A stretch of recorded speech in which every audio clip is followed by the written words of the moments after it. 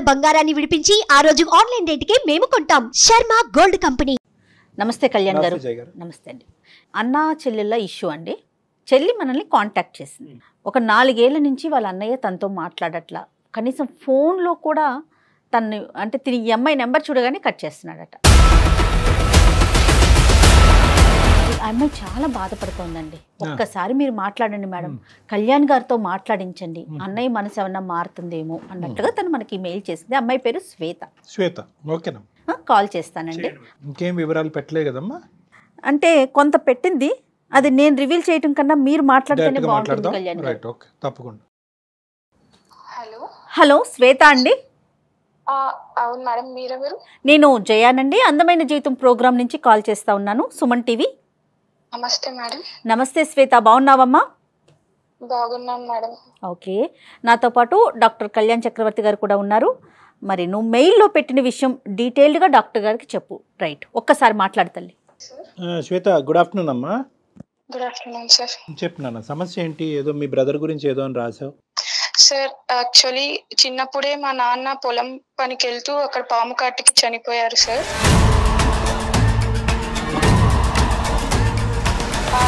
అమ్మ అన్నయ్య నన్ను పెంచుతూ ఉన్నారు సార్. మా అమ్మ కూడా కొన్ని రోజులు మా మా నాన్న చనిపోయిన తర్వాత చనిపోయారు సార్. అయ్యో.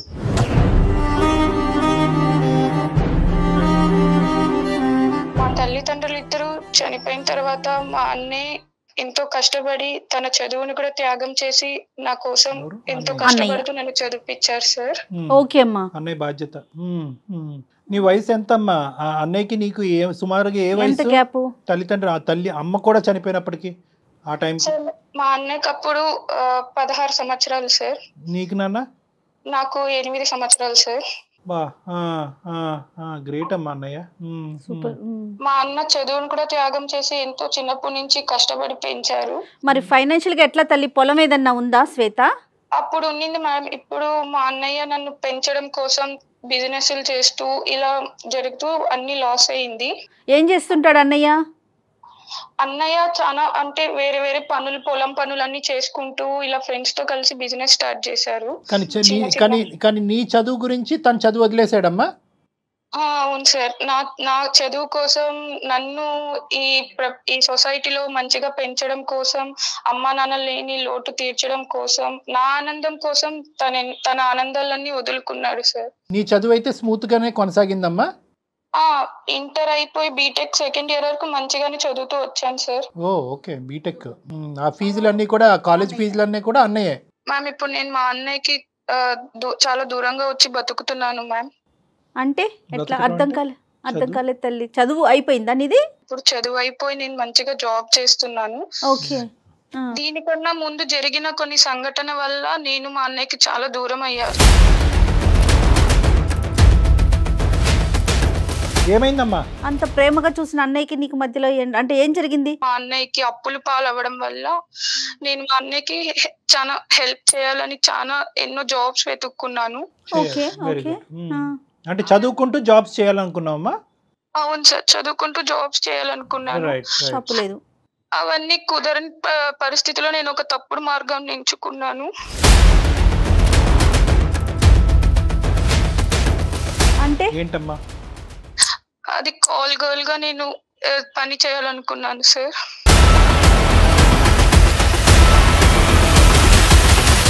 అదేంటమ్మా? కాల్ గర్ల్ గానా? ఎలా వచ్చింది నీకు ఐడియా? అంటే కొన్ని కొన్ని దాంట్లో ఇలా ఇలాంటి పనులు చేస్తే త్వరగా అమౌంట్ అమౌంట్ సంపాదించవచ్చు మా అన్నయ్యకి నేను అప్పులు అన్ని తీర్చేయచ్చు అనే ఒక దీంతో చేయాల్సి వచ్చింది. అలా చేస్తూ ఒకసారి మా అన్నయ్య వాళ్ళ ఫ్రెండ్స్ ఇలా చేసుకోవడం బుక్ చేసుకోవడం ద్వారా మా అన్నయ్యకి తెలిసింది సార్.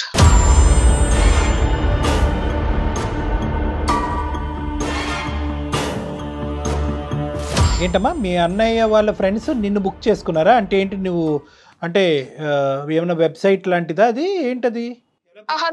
లేదు సార్. ఇలా మాకు కొంతమంది మా నెంబర్స్ ఇస్తారనమాట ఇలా కావాలి అనుకున్న వాళ్ళకి. అలా జరిగింది అప్పుడు మా. అన్నయ్య ఫ్రెండ్స్ చూసి ఇలా మీ చెల్లి ఇలాంటి పనులు చేస్తుంది అని చెప్పారు. ఏం మాట్లాడమంటావు తల్లి. తప్పు లేదమ్మా మరి ఆయన బాధపడటంలో ఏం- తప్పేమన్నా ఉందా? నిజంగా బిజినెస్ పరంగా లాసెస్ వచ్చి ఫైనాన్షియల్లో ఊబిగా ఊబిలో కురిగిపోయినా అతను నిన్ను కాపాడుతున్నాడు. నీ చదువును కాపాడుతున్నాడు. నీ వ్యక్తిత్వాన్ని కాపాడుతున్నాడు. నీ భవిష్యత్తును కాపాడుతున్నాడు. నిజంగా అన్నయ్య అంత కష్టపడుతుంటే చూడలేక ఈ అప్పులు అనేది లేకుండా ప్రశాంతంగా బతకాలని అలా తప్పుడు మార్గం సార్. డబ్బు లేకపోయినా కూడా ఏదన్నా అడుగు తినన్నా బతుకుతాడు నిన్ను కాపాడుకుంటూ చూసుకుంటాడేమో కానీ నేను చిన్నప్పటి నుంచి తల్లి లేని తండ్రి లేనట్లు లోటు తీరుస్తున్న నా చెల్లిని ఈ స్థాయి వరకు తీసుకొచ్చి ఆఖరికి ఓ నా నా చెల్లెల ద్వారా వ్యాపారం జరుగుతుందా అనేటటువంటి మాటని ఏ అన్నయ్య అన్న జీర్ణించుకుంటాడమ్మా? నువ్వే చెప్తున్నావు తప్పుడు మార్గం అని. తెలిసి తెలిసి. అంటే నువ్వు నీ అంటే మీ కాలేజీలో ఆ మార్గంలో వెళ్ళిన వేరే అమ్మాయిలు ఉన్నారా? అలా ఏం లేదు సార్ నేనే ఇలా చేస్తే త్వరగా ఆ ఐడియా ఎలా వస్తుంది? అంటే ఎక్కడన్నా విన్నావా నువ్వు? ఎవరన్నా ఫ్రెండ్స్ నిన్ను ప్రోత్సహించారా? ఓ చండాలమైన ప్రశ్న అడుగుతాను. మొత్తం ఎంత సంపాదించావమ్మా దాని ద్వారా? సరే ఇంకా నేను అది అడగను. నా ప్రశ్న నేను విరమించుకుంటాను. సో మీ ఫ్రెండ్స్కి తెలిసిన తర్వాత ఏం జరిగిందమ్మా? ఇలా వాళ్ళు మా అన్నయ్యకి ఫోన్ చేసి చెప్పారు సార్. మీ చెల్లెంటి ఇలాంటి పనులు చేస్తాంది? అసలు నువ్వెలా మీ చెల్లికి ఇలాంటి పనులు చేయడానికి ఆలోచిస్తున్నావు అని. అంటే నిన్ను చూసారమ్మా? నువ్వు వెళ్ళావా? డైరెక్ట్గా వాళ్ళ రూమ్కి కానీ వాళ్ళ ప్లేస్కి కానీ వెళ్ళావా? అంటే వాళ్ళు ఫోన్ చేసినప్పుడు కొన్ని ఫొటోస్ పంపిస్తాం కదా సార్. అప్పుడు చూసి ఇలా జరిగింది. అప్పుడు నేనా కాదా అనుకొని వాళ్ళు కన్ఫర్మ్ చేసుకోవడానికి నేను ఉన్న ప్లేస్కి వచ్చున్నారు.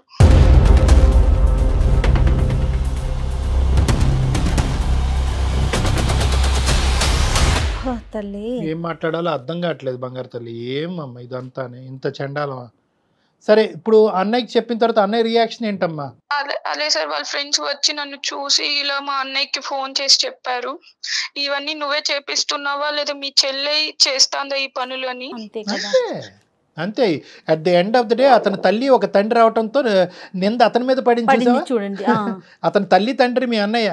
నింద చూసావా? అరే నువ్వు ఈ నువ్వు ఫైనాన్షియల్ ఊబిలో కూరుకుపోవటం వల్ల నువ్వు ఇటువంటి వ్యాపారం నడిపిస్తున్నావు అని అడిగారు చూసావా?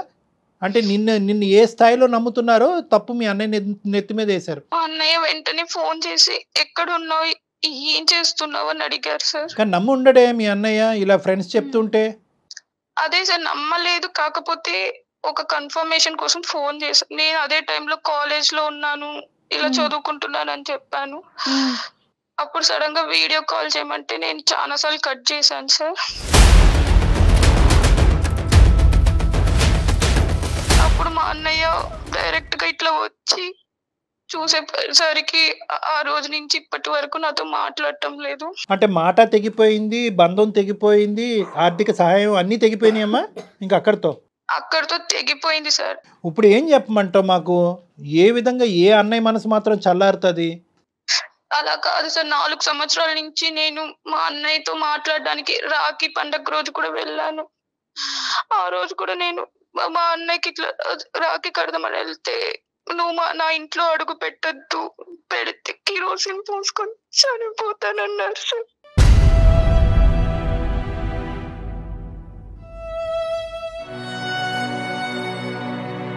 పెళ్ళయిందమ్మా అన్నయ్యకి? ఇంకా అవ్వలేదు సార్.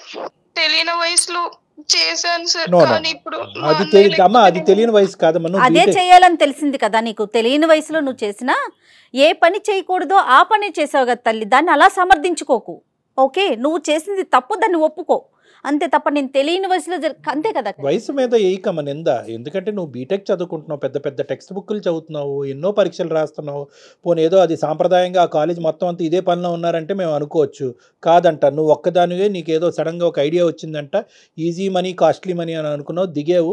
పోనీ ఒక్కసారి దిగిన తర్వాత తప్పు తెలుసుకుని చంపలేసుకుని ఈ చండాలోని డబ్బులు నాకు వద్దు అని అనుకుంటే సరిపోయి ఉండేది. మీ అన్నయ్య ఫ్రెండ్స్కి దొరకకపోతే ఇప్పటికీ కూడా నువ్వు ఇదే వ్యాపారంలో ఉండేదానివేమోగా? తప్పుగా అనుకోద్దాం నా మాటని?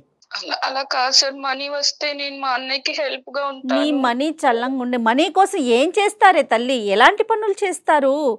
అమ్మ నువ్వు మనీకి- డబ్బులు నువ్వు డబ్బులు తీసుకెళ్ళి మీ అన్నయ్యని బిజినెస్ అనేటటువంటి ఒత్తిడిలోంచి బయట వేస్తావు. కానీ ఎక్కడి నుంచే డబ్బులు వచ్చినాయి అని చెప్పే ధైర్యం ఉందా నీకు? చెప్పగలుగుండేదానివా అప్పుడు? అన్నయ్య ఈ పద్ధతుల ద్వారా నాకు ఈ డబ్బులు సంపాదించిందని? లేదు సార్ అంత ధైర్యం లేదు సార్. సరే ఇప్పుడు ఇప్పుడు మాకు చేయటానికి ఏంటమ్మా? అన్ని ప్రయత్నాలు జరిగినాయి. మీ అన్నయ్య చల్లబడట్లేదు. నాకు మళ్ళీ మా అన్నయ్యతో బాండింగ్ కావాలి అని నువ్వు మమ్మల్ని కోరుకుంటున్నావు. దానికి మేము మీ అన్నయ్యని సంప్రదించాలా? అవును సార్. ఒక్కసారి మా అన్నయ్యకి మీరు కాల్ చేసి మాట్లాడండి సార్. ప్లీజ్ అతను మాట్లాడొచ్చు మాట్లాడకపోవచ్చు. ఏం కళ్యాణి గారు? ఆవిడ ఆవిడ ఫోన్ ఎత్తదా? నువ్వు చేస్తావా తల్లి? ఫోన్ చేస్తావా నా నెంబర్ తెలిస్తే అసలు మాట కట్ చేసేస్తారు మేడం. ఒక్కసారి నేను మీకు నెంబర్ పెట్టాను కదా మ్యామ్. దాంట్లో నుంచి మీరే ట్రై చేయండి. Please ma'am. సరేనమ్మా ట్రై చేస్తారు. కానీ కళ్యాణ్ గారు చెప్పండి. అంటే తను పాజిటివ్గా Hmm. తీసుకోవచ్చు అమ్మ ఇప్పుడు తీసుకోకపోవచ్చు ఏంటంటే టూ థింగ్స్ అమ్మ. ఒకటి అతను యాక్సెప్ట్ చేసి అన్ని అర్థం చేసుకుని దయదలిచి క్షమించి ముందుకొస్తే అది ఒక ఎత్తు. నువ్వు నువ్వు అన్న కోరిక ఫలిస్తుంది. అందమైన జీవితం ద్వారా మీ అందరం చాలా హ్యాపీగా ఉంటాం. ఒకప్పుడు ఫలించకపోతే కనుక ఇప్పుడున్న పరిస్థితే కంటిన్యూ అవుతుంది. దానికి మించిన నష్టం అంటూ ఏమీ జరగదు. అంటే అతని పని అతను చూసుకుంటాడు నీ పని నువ్వు చేసుకోవాలి. అర్థమైందమ్మా? అలా కాదు సార్. మీరే ఎలా అయినా మాట్లాడించారు మా అన్నయ్య లేకపోతే నేను బ్రతుకున్న శవం లాగా oh no no no no. అది కాదులే అమ్మా. సి బేసికలీ ఏంటంటే ఒక్కొక్క వ్యక్తికి ఒక్కొక్క కష్టం ఉంటుందమ్మా. ఒక్కొక్క ఆలోచన శైలి ఉంటుంది. దాన్ని బలవంతంగా మనం ఉంచేసి అనేటటువంటి చేయకూడదు. నేను ఇంకా నుంచి నా లైఫ్లో ఎటువంటి మంచి శుభకార్యాలు జరగాలన్నా మా అన్న చేతుల మీద జరగాలి రైట్ సార్. రైట్ అదే అర్థమైంది అమ్మ. ఒక ఆడపిల్లకి అది మినిమం కోరిక తల్లిదండ్రులు లేనప్పుడు అన్నయ్య ముందుకు రావాలి. ఆ అన్నయ్యని కా అన్నయ్య మనసు కాస్త ఈ విధంగా గాయపడింది. చూద్దాం అమ్మ మనం ఏ విధంగా దాన్ని రెక్టిఫై చేయగలమో చూద్దాము. ఒక ప్రయత్నం అయితే చేద్దాం.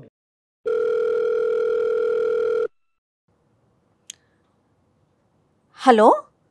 హలో? మనోజ్ గారండి? అవునండి ఎవరు?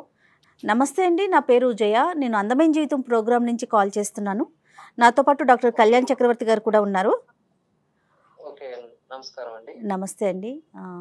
మీకు తెలియకుండా అంటే మీ పర్మిషన్ లేకుండా మిమ్మల్ని నేను కాల్లోకి తీసుకున్నానండి. నాతో మీతో పాటుగా ఇప్పుడు కాన్ఫరెన్స్లో మీ సిస్టర్ శ్వేత కూడా ఉన్నారు. తను చాలా చాలా బాధతో నాకు చనిపోవాలనిపిస్తోంది అన్న ఒక బాధతో మాకు మెయిల్ చేసింది. సో దాంతో ప్లీజ్. ప్లీజ్ ఒక్క నిమిషం. నాకు ఫోర్ ఇయర్స్ బ్యాకే ఒక చెల్లి ఉండేది చనిపోయింది.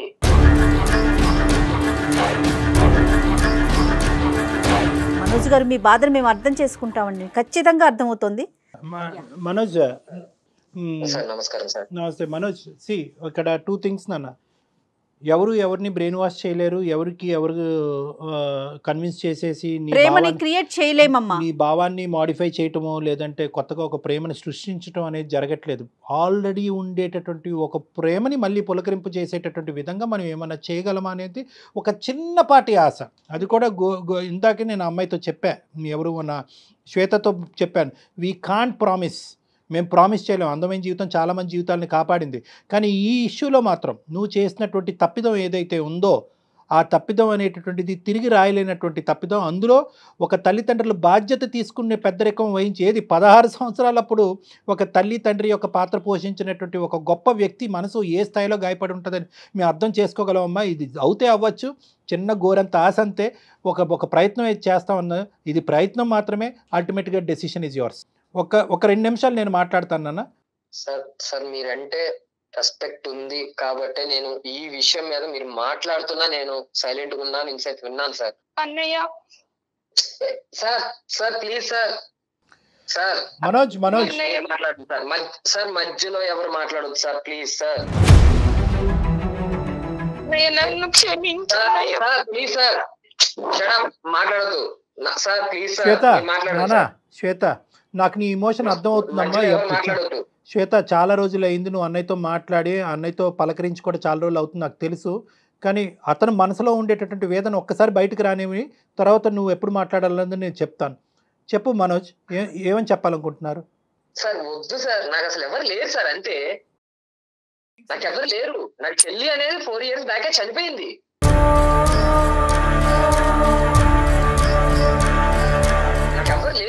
ఒంటరి వాడిని? అన్నయ్య మధ్యలో ఎవరన్నా మాట్లాడారంటే మాత్రం కాల్ కట్ చేస్తాను సార్. నువ్వు ఒక్క టూ సెకండ్స్ ఆగినాన్న ప్లీజ్ ప్లీజ్ కైండ్లీ నేను ఇది ఎందుకంటే ఇది మేము ఇంతకు ముందు డీల్ చేసినటువంటి కేసెస్ లాంటిది కాదు. ఎందుకంటే కనుక ఇదేదో ఐదు నెలల్లో ఆరు నెలల్లో అవ్వలేదు మీ ఇద్దరి మధ్యన. ఆల్మోస్ట్ అతను ఫిక్స్ అయిపోయాడు. మానసికంగా ఏంటంటే ఈ బంధం తెగిపోయింది. అమ్మా నాన్న లేరు ఇప్పుడు చెల్లి కూడా లేదు అనే కాన్సెప్ట్లోకి అతను వచ్చేసాడు కాబట్టి లేదు చెల్లి అనేటటువంటి ఆమె ఉంది. కేవలం ఒక తప్పు చేసింది. మనుషులు అనే వాళ్ళు తప్పులు చేయటం సహజం. మానవతా దృక్పథంతో క్షమించడం అనేటటువంటిది కూడా ఇంపార్టెంట్ అనే అంశం అతని బ్రెయిన్లోకి వెళ్ళాలి అంటే ఒక్క రెండు నిమిషాలు నేను అతనితో మాట్లాడాలమ్మా. Shweta please. Okay sir. Manoj నేను మనోజ్ నేను ఒక కాన్సెప్ట్ మాట్లాడతాను. ఆ కాన్సెప్ట్ నీకు అర్థమవుతే ఓకే వెల్ అండ్ గుడ్. కాకపోతే నాకు చెప్పినాను అమ్మ నాన్న.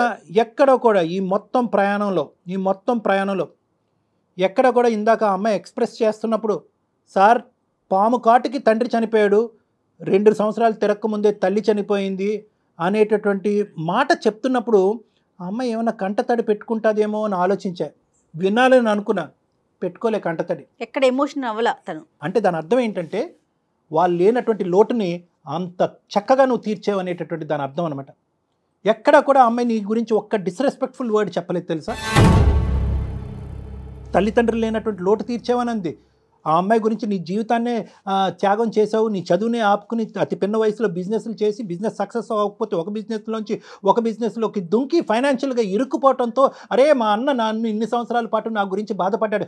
ఏ పద్ధతిలో వెళ్ళింది నీ చెల్లి అనేది తర్వాత మాట్లాడుకుందాం. కానీ తన ఉద్దేశాన్ని ఈరోజు మనం అర్థం చేసుకుందాం. ఒక్కసారి రెండు నిమిషాలు నా మాట విని మనసు ఉద్దేశం ఒక్కటే చూద్దాం కాన్సెప్ట్. ఇందాక నుంచి కాన్సెప్ట్ కాన్సెప్ట్ అంటున్నాను కదా. కాన్సెప్ట్ ఏంటంటే ఉద్దేశం. అరే ఇన్ని రోజులు బట్టి అన్ని త్యాగం చేసి కష్టపడేటటువంటి నా అన్నయ్యకి నేను ఏమీ చేయలేనా? అప్పుల భారాన్ని కూరుకుపోయి నేను చని చనిపోవాలి నేను ఉరి తీసుకుని బతకలేను ఉరి తీసుకుని చచ్చిపోవాలి బతకలేను అనేటటువంటి అన్నయ్యకి ఒక జీవనాధారం పోయాలి అనేటటువంటి ఒక పెద్ద ఉద్దేశంతో ఒక చెల్లి చేసిన. నో మనోజ్ ఒక చెల్లి చేసినటువంటి తప్పు తప్పులు చేస్తావు నాన్న. నేను చేస్తాను తప్పులు. నువ్వు చేస్తావు తప్పులు. ఈ అమ్మాయి చేస్తుంది తప్పు. ఆ తప్పు చేసింది. తప్పు చేసి రియలైజ్ అయిందా లేదా? తను తను తప్పు చేయలేదు. నన్ను చంపేసింది అంతే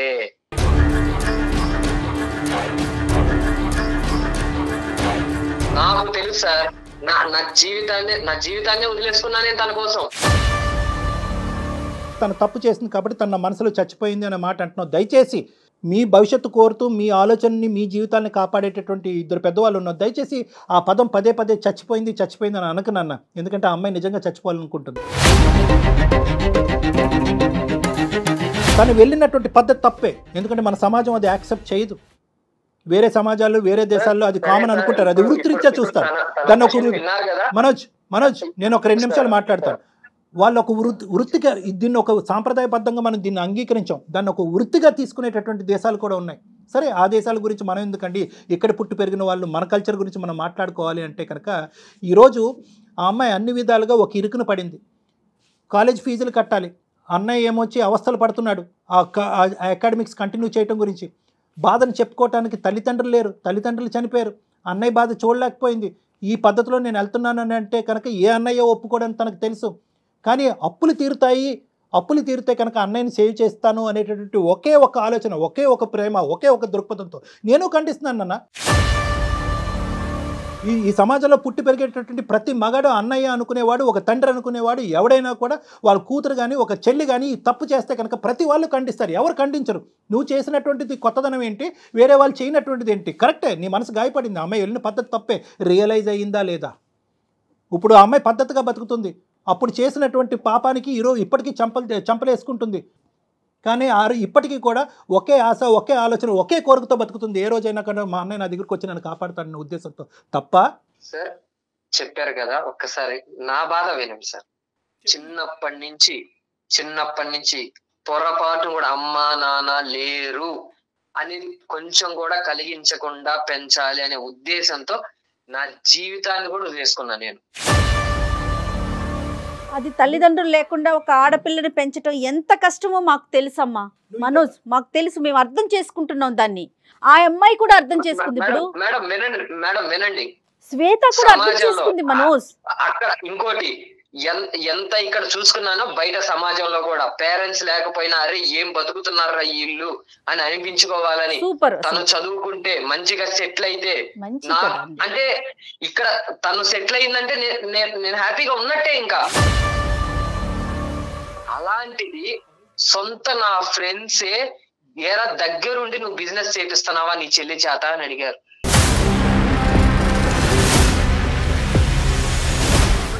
చేయాలనుకుంటున్నారో నాకు తెలియదు కలపాలనుకుంటున్నారేమో నాకు నేను ఫస్టే చెప్పాను. నేను ఎప్పుడు జీవితం అలవాటు అయిపోయింది. నమ్మకం లేదు. Coming to the point coming to the. Point నువ్వు కూడా ఎంత క్షోభలో ఉండుంటావు ఎందుకంటే అల్లారు ముద్దుగా పెంచుకున్నటువంటి నీ చెల్లెల్ని ఆల్మోస్ట్ నీ కూతురు కూతురు చెల్లెలు తల్లి అన్ని అమ్మాయి అనుకున్నట్టుగా ఒక ఆడదానికి. చూసుకున్నావు. నేను ఎక్కడా కూడా నీ క్రెడిట్ నువ్వు చేసినటువంటి త్యాగాలు ఎక్కడ కూడా చిన్నగా చేయట్లే. నేను ఎక్కడగా చిన్నగా చూడాలి అని అనుకోవట్లేదు. దానికి ఎంత స్థాయి పదాలు వాడినా కూడా తక్కువే అన్నట్టు నాకు అనిపిస్తుంది. ఒకటి ఇప్పుడు నువ్వు చెప్పావు కదా నేను ఇంత కష్టపడ్డాను పరువుని ఇంత నమ్ముకున్నాను నా చెల్లెల గురించి ఇంత త్యాగం చేసుకున్నాను మాట పడకూడదు అనుకున్నాను ఏ మాట అయితే పడకూడదు అనుకున్నాను అదే నా ప్రాణ స్నేహితుల దగ్గర నుంచి నీ చెల్లి ద్వారా వ్యాపారం చేయిస్తున్నావురా అనే మాట వినవలసి వచ్చింది సార్. ఆ రోజే నేను చచ్చిపోయానని అన్నావు కదా.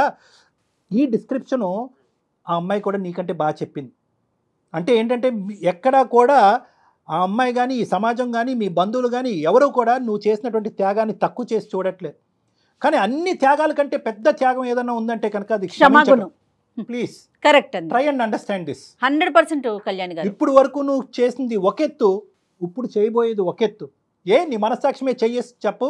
దినదిన గండం నూరేళ్ళ ఆయుష్లా బతకలేదా? ఈ నాలుగు సంవత్సరాల పాటు నీ చెల్లిని దూరం చేసుకుని ఎక్కడుందో ఏం చేస్తుందో ఎలా ఉందో అనే బాధతో బతకలేదా నువ్వు? మీ తల్లిదండ్రులు గుర్తు రాలేదా నీకు? తప్పు చేసింది తప్పు చేసి రియలైజ్ అయిందా లేదా? తప్పు చేయటం వెనకతలో ఉన్న ఉద్దేశం ఏంటి? అంటే నేను అది సమర్థిస్తున్నట్టు కాదు. ఆ అమ్మాయి చేసింది తప్పే. చెయ్యకూడని తప్పు చేసిన తర్వాత మనం వెనక కోట్లు వేసినా గానీ కష్టపడి చేసినా గానీ ఆ కష్టాన్ని గుర్తించారు సార్. ఇది అలాగే వచ్చిందని అంటారు. సమాజం కోసం తన. ఆలోచన అంతా సమాజం కోసం. పరువు పోయిందనే ఆలోచిస్తున్నాడు నా కోసం మీరు ఇంత ప్రయత్నిస్తున్నారు నేను కాదన్న సార్ కాకపోతే నాకు వద్దు సార్ నేను వదలను. మనోజ్, నేను వదలను. నువ్వు నువ్వు ప్లేస్లో నేను అక్కడ ఉండట్లేదు సార్ నేను ఫోన్ పెట్టేసినా నేను నీ ఇంటికి వస్తా ఎందుకు అంటే కనుక ఇక్కడ ఇక్కడ సమన్య ఏదన్నా ఒక చక్కటి న్యాయం దైవ న్యాయం ఏదన్నా దేవుడు దేవుడు కూడా కావాలనుకునేటటువంటి న్యాయం ఏదన్నా ఉందంటే కనుక మీ అన్న చెల్లెలు బంధం ఉండాలి ఎందుకంటే ఈ ప్రపంచంలో నీకే అమ్మాయి తప్ప ఎవరు లేరు. ఆ అమ్మాయికి నువ్వు తప్ప ఎవరు లేరు. మిమ్మల్ని ఇద్దరిని కల్ కలపకపోతే కనుక మా ప్రోగ్రామే వేస్ట్. మా ప్రోగ్రామ్ వేస్ట్. నిజంగా నేను చెప్తున్నాను ఈరోజు ఈ మాట. మీరు వస్తానంటున్నారు. హ్యాపీగా రిసీవ్ చేసుకుంటా. థ్యాంక్ యూ సో మచ్ అండి. మమ్మల్ని receive చేసుకుంటున్నందుకు thank you so much but మీరు సమాజం కోసం ఆలోచిస్తున్నారా? లేకపోతే మీ మనసుకు పడ్డ గాయం కోసం ఆలోచిస్తున్నారా? సమాజం ఎలా తీసుకుంటుందో ఈ డబ్బు సంపాదన. అంతా కూడా అలానే వచ్చింది అని ఆలోచిస్తున్నారా? అనుకుంటదని. ఇప్పుడైతే మెంటల్గా నాకెవరు లేరు. నేను ఒంటరి వాడిని అని ఫిక్స్ అయిపోయాను మేడం. నాకు వద్దు మేడం ఇప్పుడు ఈ టైంలో మళ్ళీ తమ్ముడు తమ్ముడు నా మాట బాబు? తమ్ముడు నీకు మనోజ్ నీకు పుణ్యం ఉంటుందిరా తమ్ముడు. నేను ఒకే ఒకే మాట నేను చెప్తున్నాను ఒకే మాట. ఒక రెండు నిమిషాలు. ఇప్పుడు వరకు మాట్లాడనివ్వద్దు అనేటటువంటి మీ చెల్లిని మాట్లాడిని. అట్లీస్ట్ అట్లీస్ట్ తన మనోవేదన ఇప్పుడు వచ్చి ఎవరికి చెప్పుకోలేదు. చెప్పుకునే సబ్జెక్ట్ కాదు ఇది. నో నో నో నువ్వు అలా అనకూడదు. నువ్వు అలా. అనకూడదు. నువ్వు అలా అనకూడదు. నీ చెల్లెలు ఇప్పటి వరకు తను తప్పును తెలుసుకుంది ప్రతిరోజు బాధపడుతూనే ఉంది ఈరోజు కష్టపడి ఒక చక్కటి ఉద్యోగం చేసుకుంటూ తన మీద తన నిలబడింది. ఆ ఆలోచన గురించి పదే పదే ఆలోచిస్తూ ప్రతి క్షణం ఏ రోజైనా ఈ రోజైనా రేపైనా ఎప్పటైనా కూడా నా అన్నయ్య నా దగ్గరికి వస్తాడని ఆశతో బతికేటటువంటి అమ్మాయిని కేవలం ఒక రెండు నిమిషాలు మాట్లాడిన వాళ్ళ నీలో ఒక మానవత్వం ఉందిగా? ప్లీజ్ అమ్మాయిని ఒకసారి మాట్లాడిని. నీకన్నా పెద్దదానిగా నేను ఒక అక్కగా చెప్తున్నాను విను మనోజ్. సాధారణంగా పెద్దవాళ్ళు ఒక సామెత చెప్తారు ఈ రోజు పోతే రేపటికి రెండో రోజు అని వినే ఉంటావు నువ్వు కూడా. ఆ బాధను కూడా ఫేస్ చేసావు. రేపటి గురించి కాదు. దయచేసి దీన్ని మనసులో పెట్టుకో. నేను ఎందుకు చెప్తున్నానో ఒక్కసారి విను. తను చేసింది చాలా పెద్ద తప్పు. ఎవరూ యాక్సెప్ట్ చేయం? కానీ ఒక్కసారి నువ్వు తన బాధ ఏంటో ఒక్కసారి విను. ప్లీజ్. ఇది మా పర్సనల్ రిక్వెస్ట్ అనుకో నేను డాక్టర్ కళ్యాణ్ గారు. అంటే see basically whatever the change has to be a permanent change అన్న. ఈ రోజు మేమేదో బలంతో పెడుతున్నటువంటి. ఉద్దేశం కాదు. నేను చాలా ఇమోషనల్గా మాట్లాడతాను గట్టిగా మాట్లాడతాను మనసులో భావాన్ని స్ట్రైట్ ఫార్వర్డ్గా వ్యక్తపరుస్తాను. ఇక్కడ ఎందుకంటే నాకు క్లారిటీ ఉంది నాన్న. ఓకే నువ్వేరో మీరు నా స్థానంలో నిలబడి ఆలోచించండి సార్ అంటే కరెక్టే. ఎవరి స్థానాన్ని ఎవరు చెప్పలేరు. నీ ఆలోచన నీది నీ వ్యక్తిత్వం నీ నీది. కానీ at the end of the day మనందరినీ కలిపేటటువంటి ఒక మానవతా దృక్పథం అనే ఒక యాంగిల్ ఉంటుంది. ఒక బ్లడ్ రిలేషన్ అదంతా కూడా మనల్ని కలుపుతుంది అనమాట ఎక్కడో ఒక చిన్న జాలి ఒక దయ నేను చెప్పాలా? మీ చెల్లి గురించి మీ చెల్లిని నువ్వు చిన్నప్పటి నుంచి ప్రేమించినటువంటిది మీ చెల్లి యొక్క వ్యక్తిత్వం గురించి నేను చెప్పాలా? ఏ అమ్మాయి ఏమైనా అబ్బాయిల గురించి పరితపించేటటువంటి మనస్తత్వమా? అబ్బాయిల వెనకట్లు పడి పది రిలేషన్షిప్ పెట్టుకునే చెల్లి గురించా నువ్వు మాట్లాడుతున్నావు? కేవలం ఏంటంటే ఒక పది రూపాయల గురించి ఆశపడి ఆ పది రూపాయలు తన తిండి తిని తందనాలు ఆడటం గురించి కాదు. ఆ పది రూపాయల గురించి నిన్ను ఊబిలోంచి బయటకు వేయటం గురించి ఒక పరితపించేటటువంటి ఒక మానవతా మృతి అంటే ఆ మానవతా కోణం నుంచి ఒక్కసారి ఆలోచించరాను ఇంకొకటి నేను చెప్తున్నా నువ్వు ఇప్పటి వరకు ఇదే కోణం మీద ఎందుకు నిలబడ్డావు ఇదే ప్లాట్ఫామ్ మీద ఎందుకు నిలబడ్డావు అంటే కనుక ఇప్పటి వరకు ఆ అమ్మాయి వాయిస్ ఆ అమ్మాయి ఇమోషను ఆ అమ్మాయి టోను వినటానికి నువ్వు రెడీగా లేవు. అమ్మ శ్వేత ఒక్కసారి మీ బ్రదర్తో మాట్లాడినన్న హలో అన్నయ్య. చెప్పు. అన్నయ్య ప్లీజ్ అన్నయ్య కాల్ కట్ చేయొద్దు అన్నయ్య.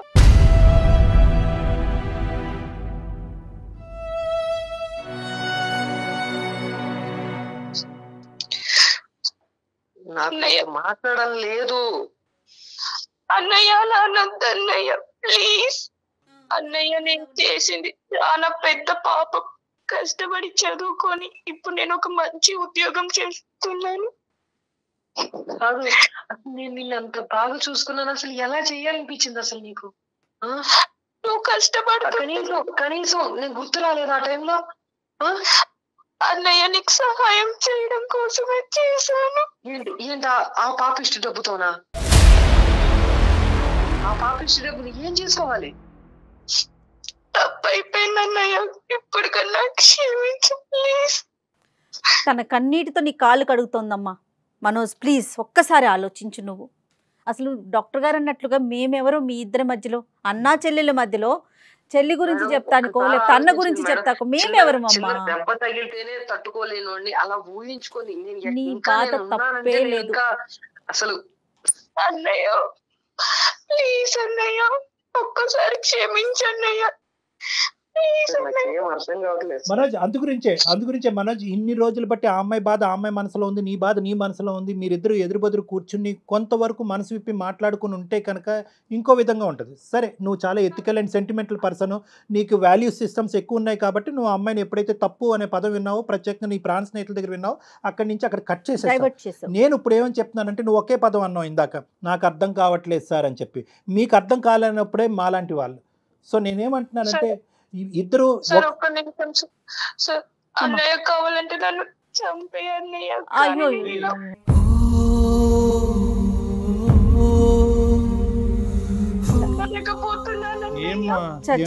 చంపుకోవటానికమ్మా ఇదంతా బతుకుండేది సమాజంలో. ఏమ్మా? అది అదే ప్రేమ అంటే మా మనోజ్ ఇదే ప్రేమ. వల్ల కావటం లేదు. లేదు నాన్న నాన్న నేను ఒకే మాట చెప్తున్నాను మనోజ్. నీ నీ నీ మనసులో ఇప్పటికీ కూడా ప్రేమ దాగుంది. ఈ రోజు ఈ అమ్మాయి మాకు తన బాధతో మాకు ఫోన్ చేసింది. నువ్వు నీ బాధతో ఎవరికి చెప్పుకోలేకపోయావు. ఇప్పటికైనా కూడా మీ ఇద్దరిలో ఒక ఆలోచన వచ్చింది అని నాకు అనిపిస్తుంది. ఒకరినొకరు క్షమించుకుంటూ ముందుకెళ్ళాలి ఎందుకంటే ఆ అమ్మాయి ఏమంటుందంటే గతం గత ఏదైతే పోయిందో అది పోయింది సార్. నేను చేసినటువంటి పాపానికి నేను చేసినటువంటి పాడు పనికి నేను శిక్ష అనుభవించాను. ఇక ముందైనా కూడా నేను బ్రతకుండాలంటే నా జీవితంలో ఒక ఆడపిల్లగా కొన్ని కార్యక్రమాలు ఉన్నాయి. ఆ కార్యక్రమాలు పెద్ద దిక్కు మా అన్నయ్యే అన్నయ్య ముందుకొచ్చి చేయాలని చెప్పి ఒక ఒక చిన్న కోరిక కార్యక్రమాల కన్నా కూడా కళ్యాణ్ గారు ముందు తల్లి తండ్రి తానే కదా. At the end of the day concept ఏంటి? ఇద్దరి మధ్యన ప్రేమ ఉంది ఒకరికొకరు త్యాగం చేసుకున్నారు అనేటటువంటి ఆలోచన. ఎటొచ్చి తను వెళ్ళిన పద్ధతి తప్పు నువ్వు వెళ్ళినటువంటి పద్ధతి కరెక్ట్. తన తప్పు తన తెలుసుకుంది కాబట్టి ఈ బాధను ఇక్కడితో ఆపేద్దాం మనం. ఈ గొడవని ఇక్కడితో ఆపేద్దాం. మీ ఇద్దరు బంధం మళ్ళీ మీ బంధం మళ్ళీ ఇది అవ్వాలి మళ్ళీ బాండ్ అవ్వాలి మళ్ళీ హ్యాపీగా ఉండాలి. నీ చేతుల మీదుగా మీ పెళ్ళి మీ చెల్లి యొక్క పెళ్ళి జరగాలి. తన భవిష్యత్ అంతా కూడా నీ చేతుల మీద నిలబడాలి. నీకొక జీవితం ఏర్పడాలి తనకు ఒక జీవితం ఏర్పడాలమ్మా. ఓకేనా మనోజ్? ఒకసారి కలవండి. నాకు ఇంకా మీ ఆలోచనలో చిన్న సందేహం ఉంది కానీ మీరు సైలెంట్ అయ్యారు అంటే కనుక మీరు ఆలోచిస్తున్నారు అనేది నాకు ఒక నమ్మకం వచ్చింది. ఓకేనా మనోజ్? కలుస్తాను సార్. రండి. శ్వేత నువ్వు కూడా రామ్మా నేను చెప్తాను. డేట్ అండ్ టైం చెప్తారు జయ గారు. అప్పుడు వచ్చి కలవండి. ఒకసారి సార్ ప్లీజ్ సార్ మీ ముందరే క్షమించాలని చెప్పమనండి సార్. అదంతా ఇమీడియట్గా. కాదులే అమ్మా. ఆగమ్మా See, కొంత టైం తీసుకొని. అట్లీస్ట్ ఇప్పుడు వరకు నువ్వు మాట్లాడటానికి కూడా అవకాశం ఇవ్వనటువంటి ఒక వ్యక్తి ఈ రోజు ఆలోచిస్తున్నాడు మాట్లాడకుండా. నా దగ్గరికి రండి మీ ఇద్దరుని మనం మాట్లాడుకుందాం. ఏం తల్లి? తప్పకుండా వస్తాం sir. Thank you sir thank you madam thank you మా థ్యాంక్ యూ అంటే బంధానికి అట్లా ఎవరమైనా సరే లొంగిపోవాల్సిందేనేమో కదా కళ్యాణ్ అంతే? మేడం అది లోపల ఉంది. కి- See, బయట ఉన్న ఇమోషన్ మనం క్యాలిక్యులేట్ చేసుకుంటూ పోతే కష్టం మేడం. ఎందుకంటే అంత ఎంత త్యాగం చేస్తే ఆ అబ్బాయి అంత- ప్రేమగా చూసుకున్నాడు. సో లోపల ఎక్కడో ఉంది. దాన్ని ఏంటంటే ఆ అవమానంతో కప్పేశారన్నమాట అవమానంతో. ప్రత్యేకంగా వాళ్ళ ఫ్రెండ్స్ దగ్గర నుంచి వచ్చింది చూడండి ఆ ఫ్రెండ్స్ ఎదుర్కొంటే తలెత్తుకోలేకుండా పరిస్థితి ఆ అవమానం. అతను ఏంటంటే పరువుకి ఇంపార్టెన్స్ ఇచ్చే ఒక వ్యక్తిత్వం. అదే అవే రిలేషన్స్. సూపర్ అండి థ్యాంక్ యూ. So much. నమస్తే ముప్పై నిమిషాలలో నొప్పి లేకుండా వేడికోస్ స్వయం చికిత్స అవేస్ హాస్పిటల్ హైదరాబాద్